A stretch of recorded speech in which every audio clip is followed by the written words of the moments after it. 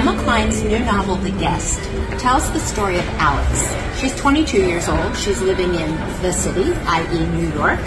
She is making a living as an escort, and she is making some bad decisions. So when she heads out to the Hamptons with her very rich, much older boyfriend Simon, thinking that she's got everything in hand, it turns out that it might not be the case. So we spend a week with Alex in her life in the Hamptons, seeing her make decisions and try to work things out.